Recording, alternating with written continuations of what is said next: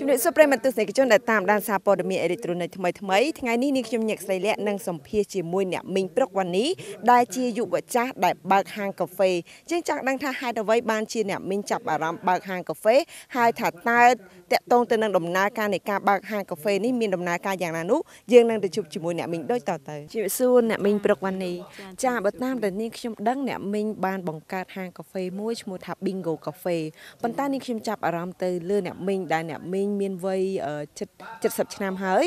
មានចំណង់ចំណូលចិត្តបើកហាងកាហ្វេនេះអញ្ចឹងនេះខ្ញុំចង់ដឹងថាហេតុអ្វីបានជាអ្នកមីង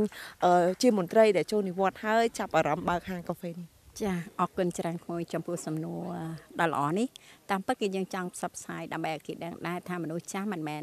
មិនមានប្រយោជន៍សម្រាប់សង្គមទេណាចាមនុស្សចាស់ក៏ត្រូវធ្វើអីដែលជាប្រយោជន៍ ឲ្យសង្គមដែរក្រៅពីយើងធ្លាប់មានបទពិសោធន៍ក្នុងការងាររាជការក្នុងការងារសង្គមស៊ីវិលមួយចំនួនណាខ្ញុំយល់ថាមុខវិជ្ជាមួយគឺមុខជំនាញមួយហៅមុខជំនួញហ្នឹងតែមិនមែនសិតតែជាមុខជំនួញដែលគិតតែពីផលប្រយោជន៍ផ្ទាល់ខ្លួននេះមុខជំនួញនេះវាអាចគិតដល់ផលប្រយោជន៍សង្គមដែរចាហើយហាងកាហ្វេនេះសោតទៀតពីកាលមុនជាហាងកាហ្វេដែលយើងអត់អត់សូវដំណើរការ នៅពេលក្រោយមកខ្ញុំបានទៅតាក់ទងជាមួយនឹងហាងកាហ្វេ F Cafe ខ្ញុំឃើញថាគេប្រើកាហ្វេសរីរាង្គហើយយើងក៏សិក្សាពីកាហ្វេសរីរាង្គនេះតែវាមានប្រយោជន៍យ៉ាងម៉េចដល់សុខភាពរបស់យើងអញ្ចឹងខ្ញុំក៏រៀបចំអាហារកាហ្វេខ្ញុំហ្នឹងដាក់ឈ្មោះកាលពីដើមគេដាក់ហាង Bingo គក់ម៉ងអញ្ចឹងយើងក៏បដូរឲ្យទៅជា Bingo Cafe វិញព្រោះយើងចង់ប្រើកាហ្វេសរីរាង្គ ចាពេលដែលយើងបើកកាហ្វេនេះយើងគិតដល់ផលប្រយោជន៍ច្រើនរបស់សង្គមទី1ពេលដែលយើងបើកទៅយើងចាប់ផ្ដើមគិតពីរបៀបយើងហៅ design របៀបតាក់តែងហាងយើងឲ្យទៅជាហាងរបៀបមួយ ដែលចូលមកឲ្យគេចាប់អារម្មណ៍ថាអូរបៀបនៅក្នុងរូបអីអីហ្នឹងមានពាក់ព័ន្ធនឹងកាហ្វេមានពាក់ព័ន្ធនឹងទេសភាពស្រុកខ្មែរផង នឹងមួយហើយមួយទៀតអ្វីដែលជាផលប្រយោជន៍បានណាគឺចំណេះដឹងនៃការធ្វើកាហ្វេចំណេះដឹងនៃការធ្វើភេសជ្ជៈចំណេះដឹងនៃការគ្រប់គ្រងកាហ្វេចំណេះដឹងនៃការបម្រើភ្ញៀវទទួលភ្ញៀវគឺធ្វើឲ្យអ្នកណាមិនមែនមនុស្សចាស់ដូចខ្ញុំត្រូវទទួលទេប៉ុន្តែខ្ញុំសម្លឹងមើលទៅកូនកូនដែលជានិស្សិតណាគេមាននិស្សិតដែលក្រីក្រ គេឥតមានថវិកាគ្រប់គ្រាន់ក្នុងការជួយឪពុកម្ដាយទេអញ្ចឹងគេអាចមានឱកាស មកធ្វើការជាមួយយើងព្រឹកគេទៅរៀនល្ងាចឬក៏គេមកធ្វើការឲ្យយើងល្ងាចគេទៅរៀនព្រឹកអញ្ចឹងគេបានទទួលចំណេះពីយើងផងគេបានថវិកាផងអ្នកមីងមួយវិញទៀតគេចាប់អារម្មណ៍ទៅលើហាងកាហ្វេដែលគេនិយមថាជាមុខរបរមួយដែលចាក់ទឹកយកលុយសម្រាប់អ្នកមីងវិញហើយធ្វើការផ្ដោតទៅលើកាហ្វេសេរីរាង្គនេះអ្នកមីងយល់ឃើញបែបណាដែរចា ត្រឹមត្រូវការដំបងមីងក៏យល់អញ្ចឹងដែរព្រោះមីងទៅហាងកាហ្វេទៅកាហ្វេយើងញ៉ាំនៅតាមផ្សារដូចគេឆុងមកនេះគេចាក់ទឹកមែនហើយតែចាក់ទឹកប្រមូលយកលុយណាគិតត្រឹមត្រូវប៉ុន្តែដល់ពេលមកយើងនិយាយពីកាហ្វេស្រីរៀងបានយើងដឹងថាប្រភពកាហ្វេលំបាកណាថ្មមតែបានកាហ្វេមួយពែងមួយពែងហ្នឹងចាស់ហើយនៅក្នុងការឆុងកាហ្វេរបស់យើងដែលយើងថាប្រើម៉ាស៊ីនឆុងនេះប្រើម៉ាស៊ីនកិនប្រើម៉ាស៊ីនទាំងអស់យើងសិតទៅវាស់វែងមានមានរបៀបមានຂ្នាតមានអីគេត្រឹមត្រូវមិញតាមរយៈការបើកហាង Bingo Cafe រហូតមកដល់សប្តាហ៍ថ្ងៃនេះគឺដំណើរការជាង3ខែមកហើយបាទប៉ុន្តែការចាប់អារម្មណ៍របស់ភ្ញៀវនេះមានច្រើនដែរឬទេឬមួយក៏យ៉ាងម៉េចដែរ ចាអឺការចាប់អារម្មណ៍ហ្នឹងវាពាក់ព័ន្ធទៅចេះដែរណាចង់និយាយពាក់ព័ន្ធទៅការឆុង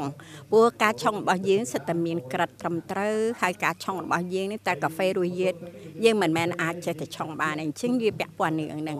ចឹងយើងត្រូវការឲ្យកូនកូនយើងនឹងរៀនឆុងឲ្យប៉កែឆុងឲ្យឈ្ងុយពេលដែលឆុងឈ្ងុយឆុងឆ្ងាញ់ហ្នឹងអ្នកចូលរួមកាន់តែមកច្រើន